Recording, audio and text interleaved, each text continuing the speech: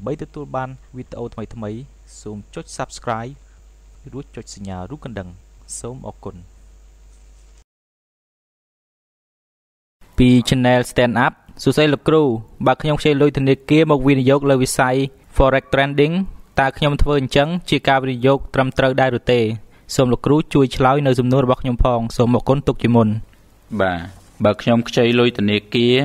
មកវិនិយោគលើវិស័យ Forex Trading តើខ្ញុំធ្វើអញ្ចឹងជាការវិនិយោគត្រឹមត្រូវដែរឬទេ បាទរឿងនេះខ្ញុំមិនអាចឆ្លើយបានថាត្រឹមត្រូវឬខុសទេខ្ញុំមិនអាចឆ្លើយបានថាត្រឹមត្រូវឬខុសទេខ្ញុំអត់ដឹងថាសមត្ថភាពរបស់យើងកម្រិតណាប៉ុន្តែខ្ញុំអាចប្រាប់ថា មានអ្នករកស៊ីវិស័យនឹងហើយក៏ខាត់លុយឡងឆុងអស់យ៉ាងច្រើនសម្បើមហើយក៏មានអ្នករកស៊ីក្នុងវិស័យនឹងតែក៏បានចំណេញលុយ អញ្ចឹងរឿងខាតរឿងចំណេញនេះវាអាស្រ័យលើអីខ្លះវាអាស្រ័យលើក្រុមហ៊ុនដែលអ្នកកំពុងតែធ្វើនោះមួយវាអាស្រ័យលើអ្នកដែលមានជំនាញខាង trade នឹង2វាអាស្រ័យលើ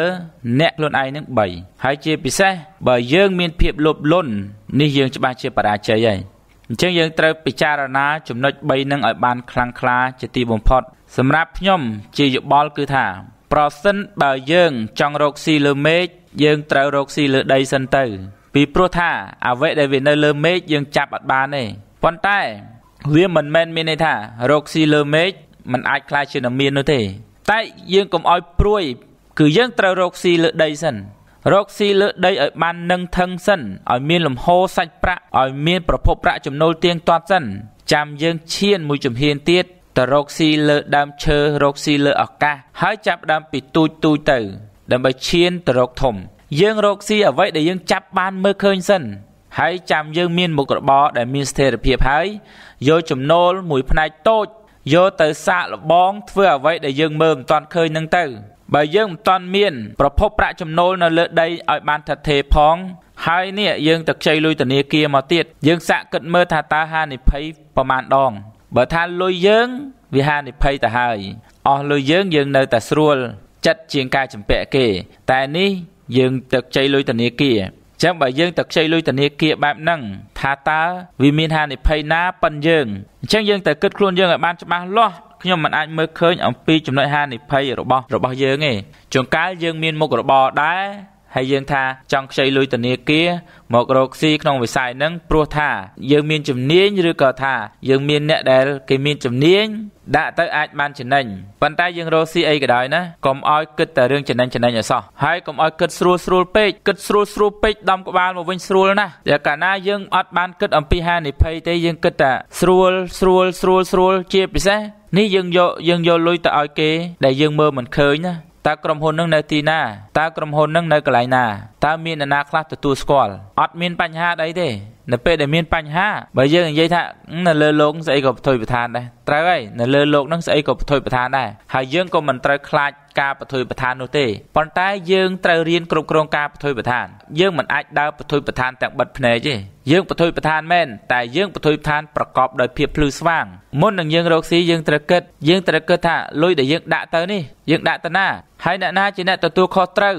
អ្នកណាជាអ្នកទទួលស្គាល់អញ្ចឹងបើយើងអត់មានកន្លែងដាក់លុយផងតើហានិភ័យយ៉ាងម៉េចហើយមួយទៀតយើងកុំឲ្យរកស៊ីដោយការដាក់លុយឲ្យដេកភ័យខ្ញុំមិនហាមឃាត់ក្នុងការសាកល្បងទេ ប៉ុន្តែឲ្យយើងមានផែនការច្បាស់លាស់ថាបើយើងសាកល្បងនៅចំនួនតូចមួយហើយបើថាវាមិនបានផលទេក៏ចាត់ទុកថាជាមេរៀនទៅអានឹងតាមទ្រឹស្ដីរបស់ Lee Kasing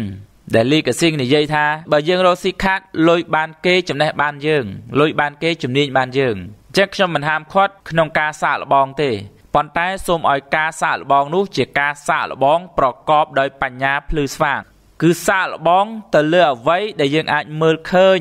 ទៅលើអ្វីដែលយើងអាចគ្រប់គ្រងវាបានកុំឲ្យសាកល្បងទៅលើអ្វីដែលជាការស្រមើស្រមៃសាកល្បងដោយការស្រមើស្រមៃមើលមិនឃើញ នោះគឺជាការសាកល្បងព្រលឹងចង់សក់អញ្ចឹងបងអូនគិតមើលខ្លួនឯងថែមទៀតណា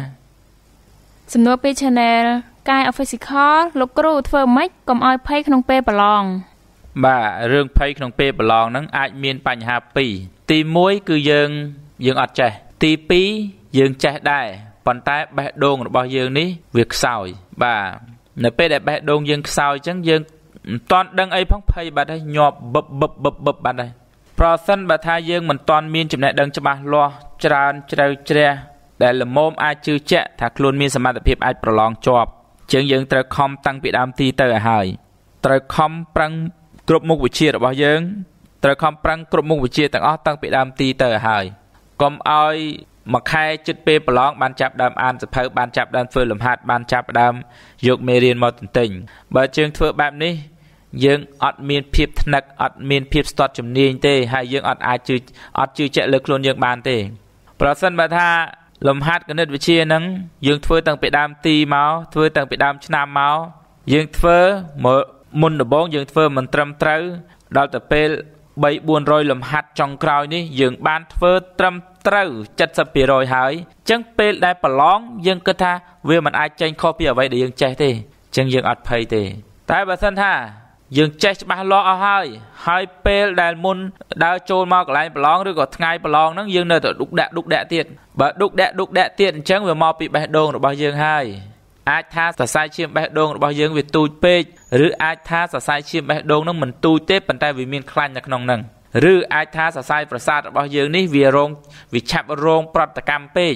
ឆាប់រងប្រតិកម្មពេកធ្វើឲ្យអំណាចចេញមកពីការគិតរបស់យើង នៅក្នុងអនុសម្បញ្ញៈថ្នាក់ចិត្តហ្នឹងវាឆាប់ប្រតិកម្មញាក់មកដល់បេះដូងបេះដូង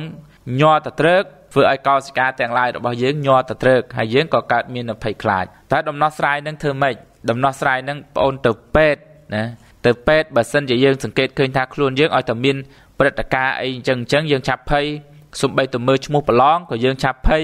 សំបីតែចិត្តដល់ថ្ងៃប្រឡងក៏យើងឆាប់ភ័យ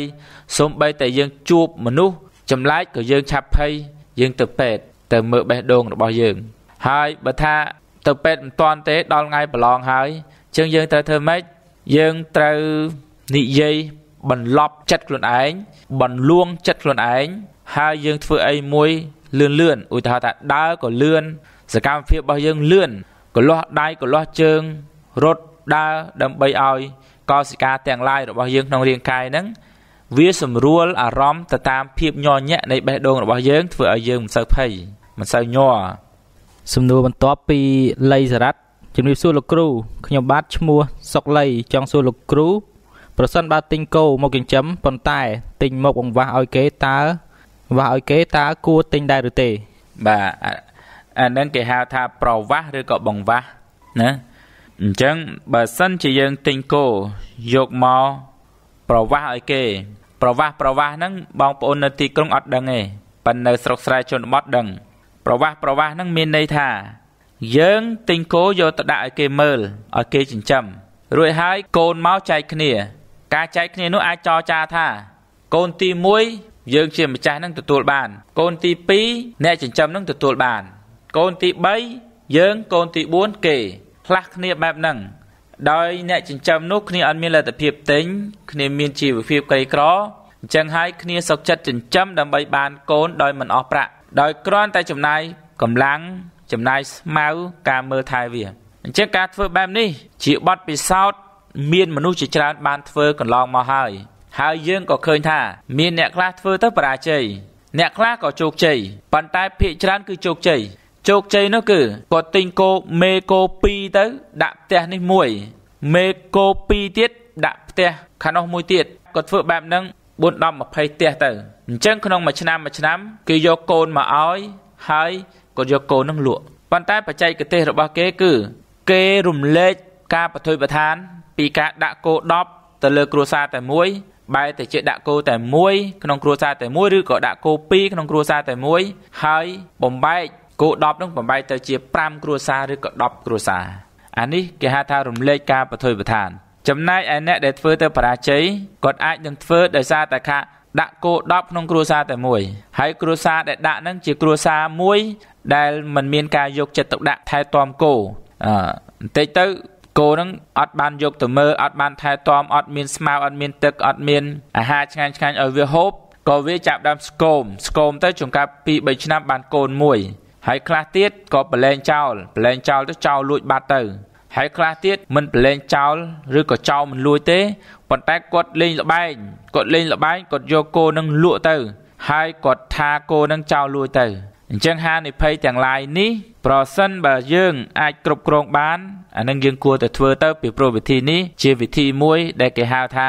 វិធីឆ្លាតក្នុងការរកប្រាក់ដែរជាវិធីឆ្លាត តែឲ្យជាងគ្រប់គ្រងឲ្យបាន មនុស្សដែលឆ្លាតហ្នឹងគឺថាគេអាចនឹងប្រើលុយ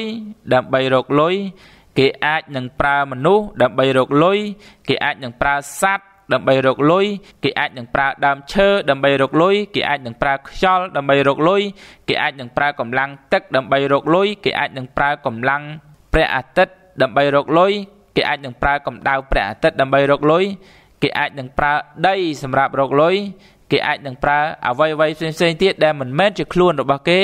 ដើម្បីរកលុយនេះជាវិធីមួយ ដែលយើងចំសັດចំសັດរកលុយមានន័យថាយើងប្រើលុយ